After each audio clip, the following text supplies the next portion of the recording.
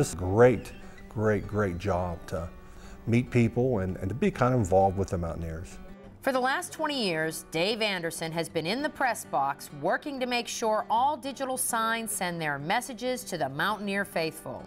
I've been to every game since 1991. Uh, before that, I've rarely missed one, but now that I'm actually working there, then I've never missed one.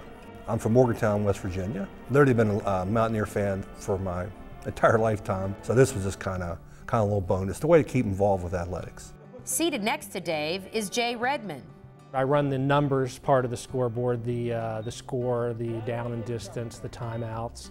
I started uh, working at Mountaineer Games in 1966. I uh, was 10 years old and I wanted to sell Coke, but they wouldn't let you sell Coke till you were 12. So I have not missed a home game since 1966. One of Jay's lasting impressions came in 1984 by simply posting a single word on the old scoreboard. We had a long string uh, where we had not defeated Penn State. So I thought a very long time about, and uh, that particular message board you couldn't put much on, so you really sort of had to pick one word. So I thought a long time about what Mountaineer fans would, would feel if we actually uh, defeated them. There was a photo taken of it, which a lot of people have hanging in their, their dens right now. The word finally did uh, express uh, the feelings uh, of Mountaineer fans very well. Perhaps no one has witnessed more Mountaineer history firsthand than MSN's Greg Shock who hasn't missed a game at home or on the road in 20 years. My responsibility is uh, basically follow the ball. Um, I am always at the end zone where the Mountaineers are coming towards.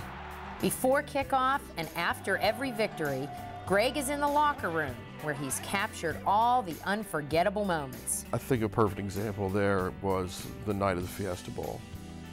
And uh, every Mountaineer fan knows of leave no doubt. No leave doubt no doubt tonight. Leave no doubt tonight. No doubt. They shouldn't have played the old Golden Boot. And I remember I was shooting that and thinking, what a great moment. Yeah, I do remember after the Sugar Bowl and, and, and after the Fiesta Bowl. One I do remember, the end of the Music City Bowl, and that was Don Nehlen's last game.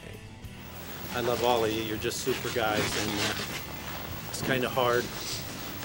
Uh, uh, I'm just so happy for Don Nehlen to go out a winner like that.